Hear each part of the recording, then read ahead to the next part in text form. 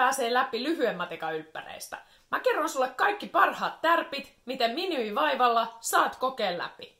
Mä oon Karla Nieminen ja mä opetin aikoinani satoja tunteja lyhyen matikan tukiopetuksia ja myös pitkän matikan ja fysiikan. Mutta mä erikoistuin erityisesti niihin lyhyen matikan oppilaisiin, joilla oli vaikeuksia päästä läpi YO-kirjoituksista. Ja mä halusin tehdä tämän videon niistä kaikista tärkeimmistä täsmävinkkeistä, miten sä voit lyhyelläkin harjoittelulla päästä läpi lyhyen matikan YO-kokeesta, tai sitten jos sun tavoite on korkeammalla kuin vaan läpipääsyssä, niin saat tästä kuitenkin hyvät perusasioiden kertausvinkit. Se läpipääsy ylppäreistä on aika matala raja, eli olisiko 20 pistettä 120, eli sun ei tarvitse todellakaan osata kaikkea, eikä tarvi osata edes kokonaista tehtävää, että sä voit päästä läpi YO-kokeesta. Sitten pidemmettä puheitta, lähdetään vinkkien pariin. Mä kerron sulle ensin vähän siihen vastaustekniikkaan ja tämmöiseen henkiseen peliin liittyviä vinkkejä, noin kymmenen kappaletta, ja sen jälkeen sitten ihan itse siihen sisältöön liittyvät tärkeimmät asiat.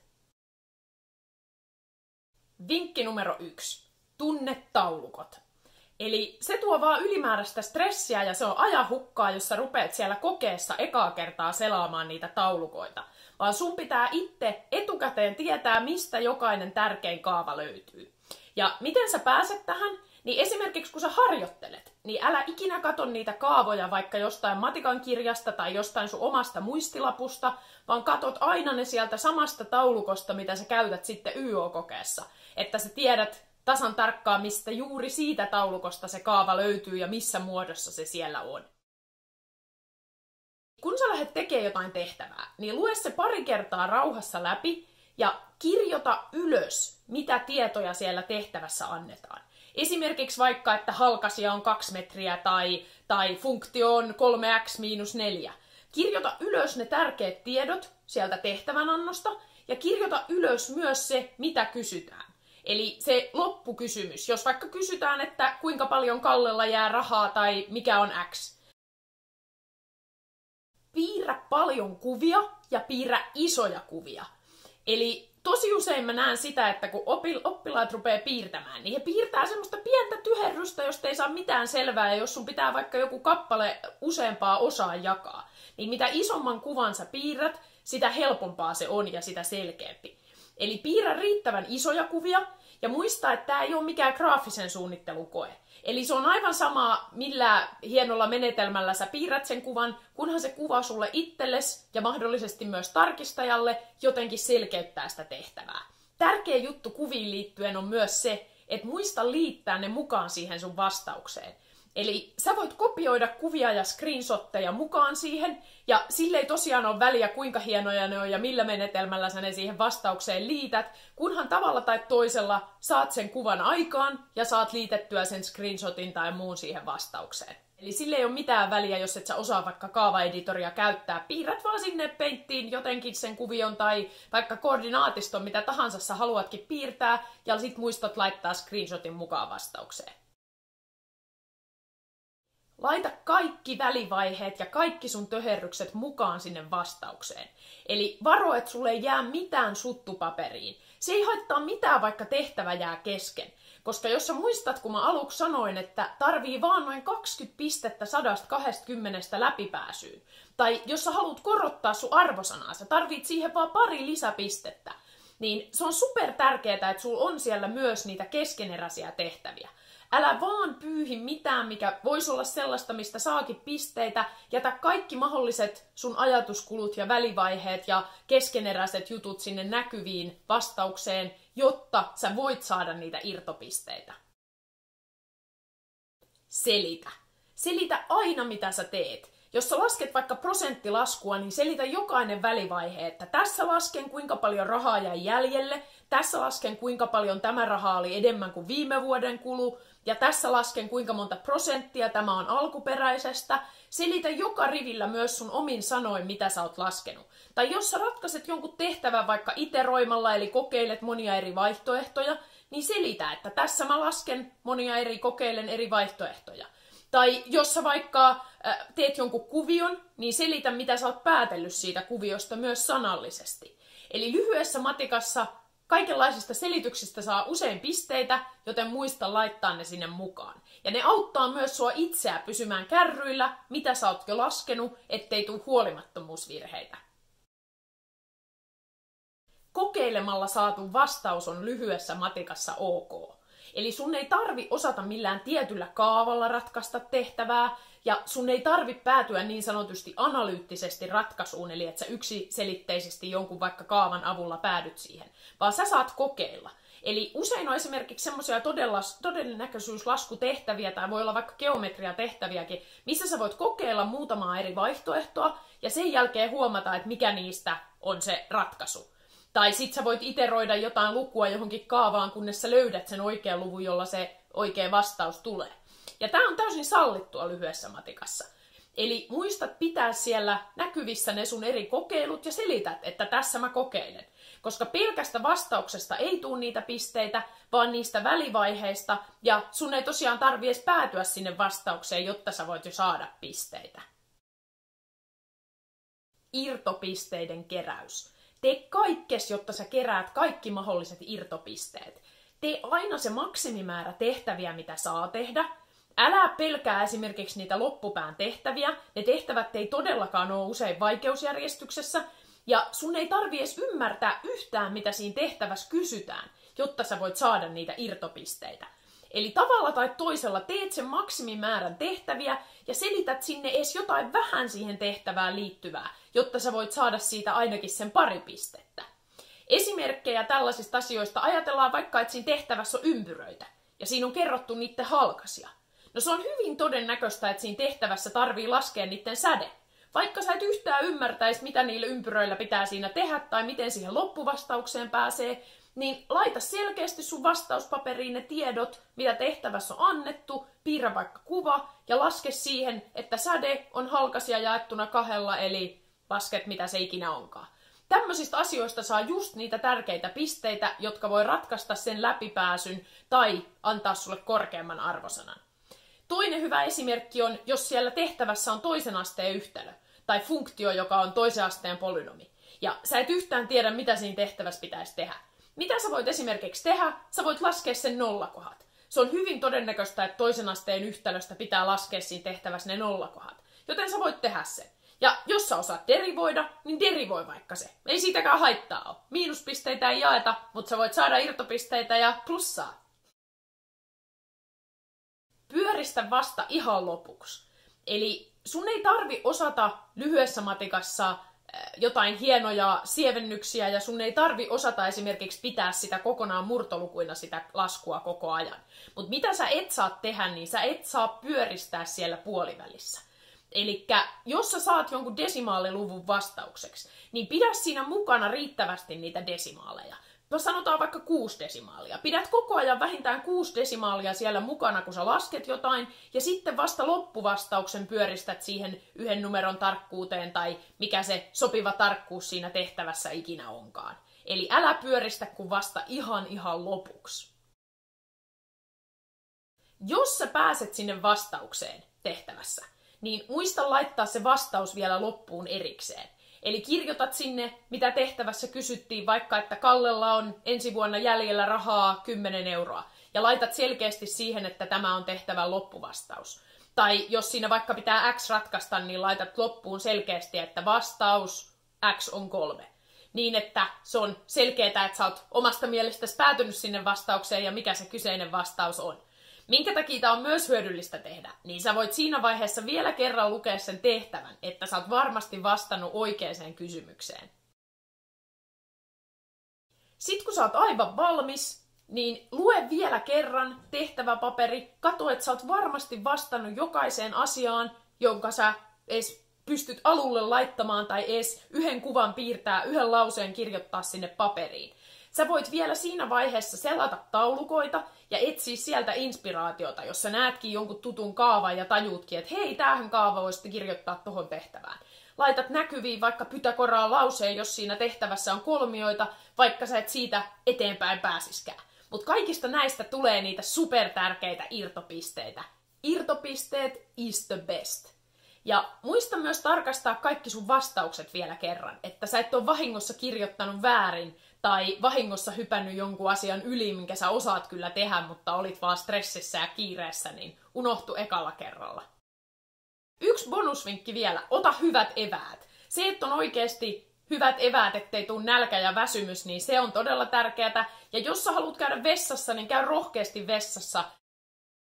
Ja nyt mennään sieltä, mistä aita on matalin. Jos sulla on jäänyt lukeminen viime tippaan, jos sun tavoite on päästä läpi, niin siinä tapauksessa ihan suosiolla keskity niihin kaikista tärkeimpiin asioihin. Älä sekoita omaa päätä sillä, että sä yrität viikossa lukea kaiken mahdollisen. Eli näillä perusasioilla sä pääset läpi, kun hallitset muutaman perusjutun hyvin. Peruslaskutoimitukset. Eli muista se järjestys, että ensin lasketaan aina sulkujen sisältä, sitten lasketaan potenssit, sen jälkeen kerto- ja jakolaskut ja viimeisenä plus- ja miinuslaskut. Usein siellä testataan sitä, että osaako oikeassa järjestyksessä laskea ne peruslaskutoimitukset. Ja yksi asia myös, mikä on todella tärkeä, jos sun pitää sijoittaa jonnekin murtoluku tai negatiivinen luku, niin laita aina sulut sen murtoluvun tai negatiivisen luvun ympärille. Koska helposti muuten se merkitys muuttuu ja silloin siellä menee esimerkiksi plus- ja miinusmerkit tai sitten ne jakopotenssilaskut laskeminnellakin väärin. Eli jos sijoitat sinne negatiivisen luvun tai sijoitat murtoluvun, niin laita sen ympärille sulut. Ja kertolaskuissa ja jakolaskuissa pätee se sääntö, että jos sulla on kaksi miinusta, niin ne puuttuu, muuttuu plussaksi. Mutta tämä pätee tosiaan vaan, jos siinä on pelkkiä kerto- tai jakolaskuja. Eli älä sotke tätä sääntöä, jos siellä on plus- tai miinuslaskuja mukana. Myös jos sulla on jakolaskussa osoittaja ja nimittäjä, niin muista, että jos siellä on mukana joko siellä osoittajassa tai nimittäjässä plus- tai miinuslaskuja, niin sä et saa tälleen supistaa. Yksi asia potensseihin liittyen, mitä myös hyvin usein testataan, on potenssien laskukaavat, mitkä löytyy sieltä maalista. Eli maalissa on semmoinen sivu, missä näkee, miten vaikka potenssin potenssi sievennetään, tai jos sulla on x-potenssiin kolme jaettuna, x-potenssiin 5, niin osaan ne potenssien sievennyskaavat tai tiedät, missä ne sieltä maalista löytyy taulukoista, niin sillä usein saat jo muutaman pisteen. Toinen tärkeä kaava, mikä siellä on, on tämä A plus B toiseen. Eli sulla on suluissa A plus B toiseen. Ja se on sellainen asia, mikä myös oikein sievennettynä, katot vaan sieltä maalista kaavan, niin aika todennäköisesti tulee pari pistettä. Seuraavana funktiot ja yhtälöt. Eli funktion ja yhtälön erohan on se, että funktiossa sulle ei välttämättä ole sitä lopputulosta. Eli funktio merkitään yleensä f ja sitten on suluissa x on jotakin, joka on se funktio. Mutta siinä ei ole valmiina sitä lopputulosta. Yhtälössä sulla on taas siellä keskellä se on-merkki. Niin kuin vaikka x plus 5 on 3. Siinä sulla on yhtälö. Ja mitä pitää osata yhtälöistä? Niin ensimmäiseen yhtälöön ratkaisu, Eli siinä siirrellään aina sitten toiselle puolelle sitä on-merkkiä tavaraa ja silloin merkki vaihtuu. Ja sitten jos jaetaan, niin jaetaan kaikki siinä yhtälössä. Ja tämä ensimmäisen asteen yhtälön ratkaisu on tärkeä, ja toisen asteen yhtälön ratkaisulle on se ratkaisukaava taulukoissa. Eli jos on toisen asteen yhtälö, mistä löytyy vaikka x toiseen, niin siirrät kaikki samalle puolelle ensin, ja sen jälkeen, kun sulla on pelkkä nolla siellä, niin se ratkaisukaava toimii, ja sitten vaan sijoittelet siihen, niin näin hoituu toisen asteen yhtälön ratkaisu. Ja noin kaksi asiaa kun osaa, niin aika hyvin jo tulee pisteitä. Jos haluat vielä vähän ekstra varmistelua, niin sitten on olemassa epäyhtälöt, missä siellä on niitä väkäsmerkkejä. Ja ensimmäisen asteen epäyhtälön ratkaisu menee täysin samalla lailla kuin ensimmäisen asteen yhtälönkin ratkaisu. Mutta ainut asia, mikä pitää muistaa, on se, että jos kerrotaan tai jaetaan ensimmäisen asteen yhtälö negatiivisella luvulla, niin sun pitää kääntää se väkänen toisinpäin. Funktioista yksi asia, mikä on hyvä ymmärtää, on se, että jos sulle annetaan funktio, niin kuin vaikka fx on 3x miinus 2, niin sä pystyt siihen x paikalle sijoittamaan x-koordinaatin, niin sä saat ulos sen kuvaajan y-koordinaatin. Eli usein voi olla sellainen tehtävä, että annetaan funktio ja sen jälkeen sulle annetaan sitten x- tai y-koordinaatti ja sun pitää toinen sieltä laskea. Niin x paikalle sijoitetaan se x-koordinaatti ja sitten se funktion lopputulos on se y-koordinaatti. Funktioista on myös hyvä ymmärtää se, että ensimmäisen asteen funktiot, eli missä on pelkkiä x ja numeroita, niin ne on suoria, ja toisen asteen funktiot, missä voi siis myös olla mukana x toiseen, niin ne on niitä parabeleja, eli hymyileviä tai surullisia parabeleja. Ja suoralle löytyy hyvät kaavat taulukoista, ja siinä x kanssa ensimmäisen asteen funktiossa eli suorassa on kulmakerroin, ja sitten taas toisen asteen funktiossa eli parabelissa, niin siellä silloin se x toisen kerroin kertoo sulle, onko se hymyilevä parabeli vai surullinen parabeli. Ja suoran tekemiseen löytyy todella hyvät kaavat taulukoista. Eli sulle voidaan antaa esimerkiksi kaksi pistettä, joiden avulla sun pitää laskea ensin suoran kulmakerroin ja sen jälkeen sitten suoran yhtälö. Eli katot ne kaavat sieltä ja harjoittelet pari kertaa, että miten tehdään kahden pisteen avulla suora, niin muutama piste on taas varmistettu. Ihan hyvä bonuskilsi on myös derivointi. Eli jos sä osaat derivoida, niin hyvä juttu. Jos et osaa, niin älä huolehdi siitä, ei sun ole pakko osata läpipääsyyn. Mutta se on myös sellainen äh, suht simppeli keino, että x tulee ykkönen ja x toisesta tulee 2x, kun derivoidaan. Eli sitten sillä saa myös muutaman irtopisteen, jos osaa funktio vielä derivoidakin. Yhtälöparissa sulle annetaan kaksi yksinkertaista yhtälöä, joissa on se semmoinen haka, kaarisulku, merkki edessä. Ja se kertoo sulle, että kyseessä on yhtälöpari. Ja yhtälöparin yksinkertainen ratkaisu on hyödyllinen taito. Tällä samalla tavalla lasketaan myös suorien leikkauspiste. Eli todella yleinen tehtävätyyppi on sellainen, että sulle on annettu kaksi ensimmäisen asteen funktiota, eli ne on silloin suoria, ja kysytään, mikä on näiden kahden suoran leikkauspiste. Eli se, että yksinkertaisen yhtälöparin osaa ratkaista, niin sillä oletettavasti myös saa parit pisteet. Ja siitä ei kannata yhtään huolestua, jos...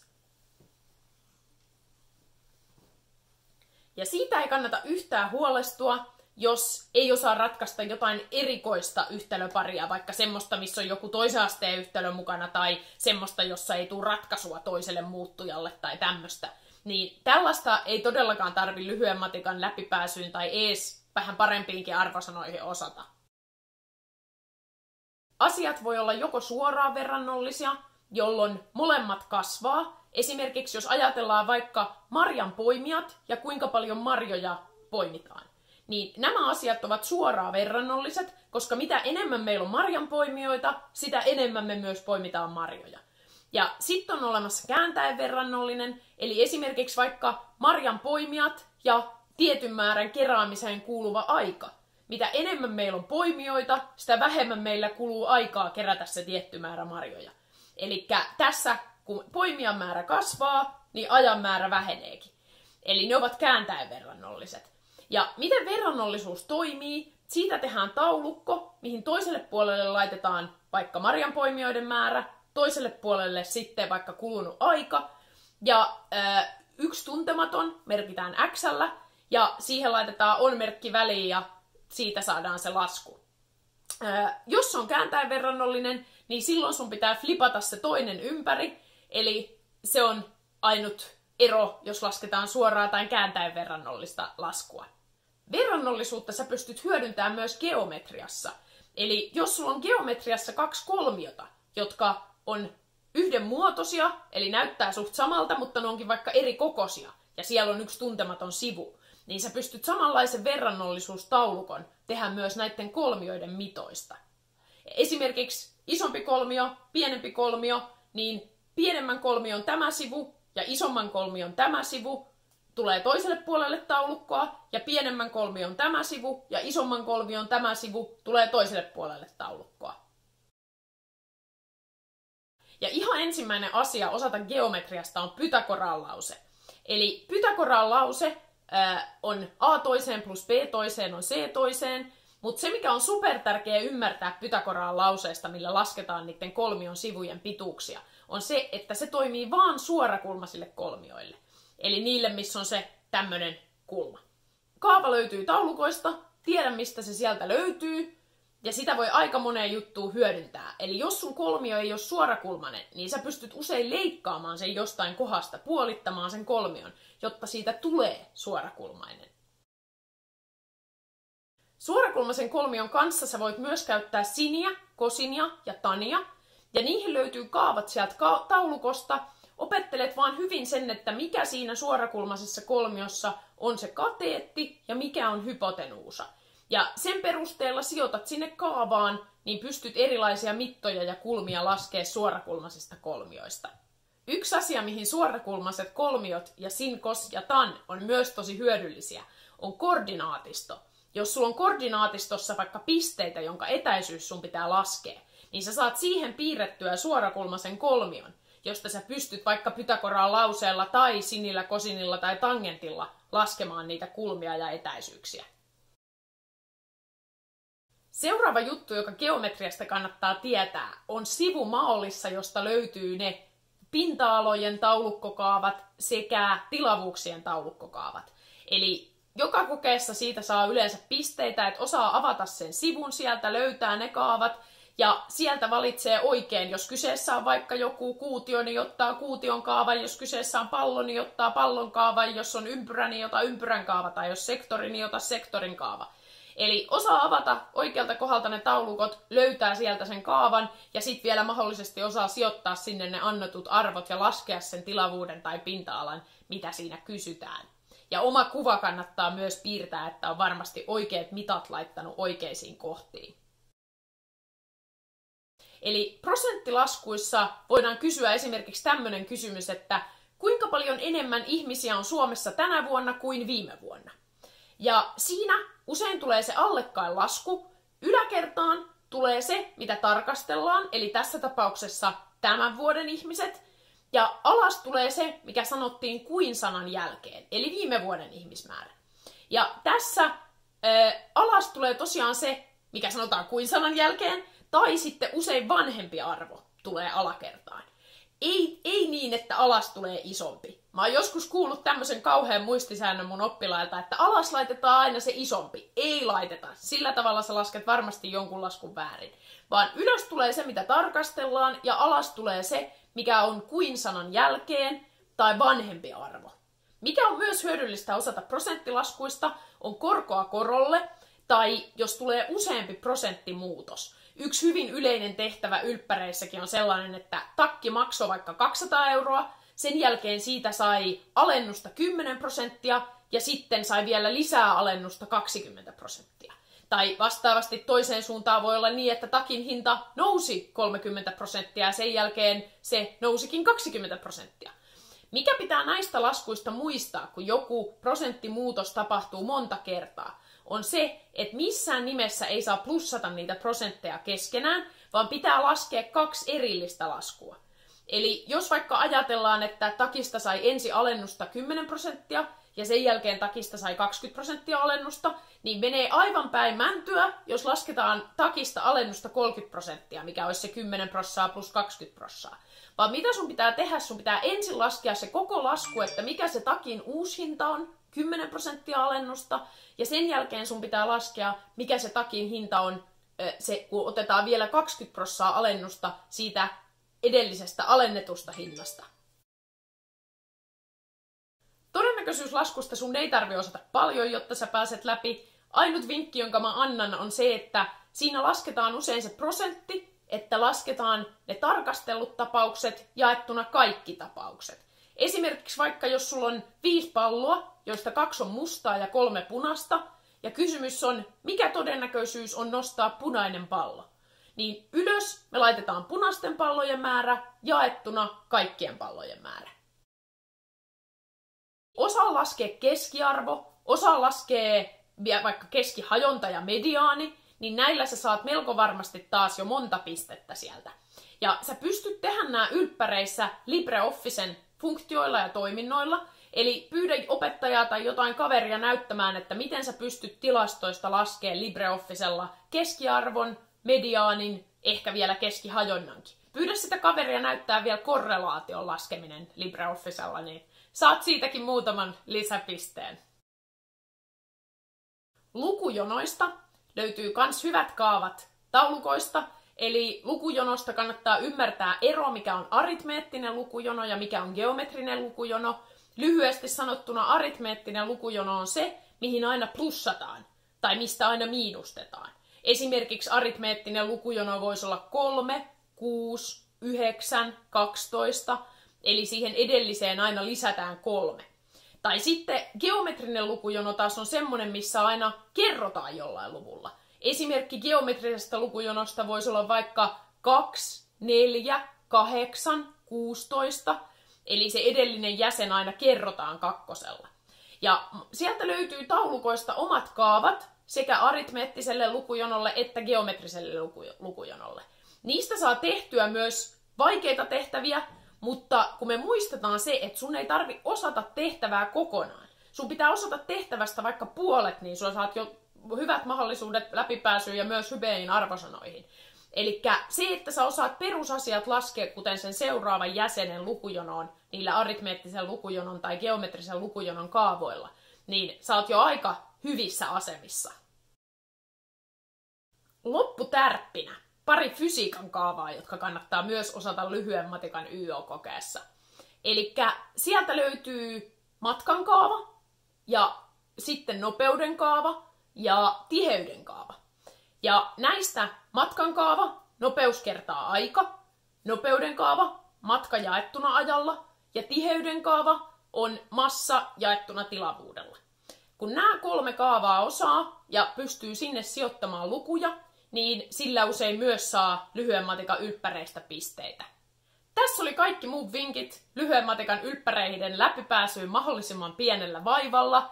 Tsemppiä kertaukseen, kato pari tehtävää kaikista näistä aiheista, mitkä mä mainitsin, niin sulla on jo todella hyvät lähtökohdat päästä läpi lyhyen matikan YO-kirjoituksista. Muista vaikka vähän myös iltasaduksi aina selata niitä taulukoita, niin tiedät, mistä mikäkin kaava löytyy, ja sit kokeessa väkisin väännät sinne joka tehtävään, mihin saa, niin jotain sinne paperiin, niin sä keräät ne mahtavat irtopisteet ja voit päästä läpi. Tsemppiä!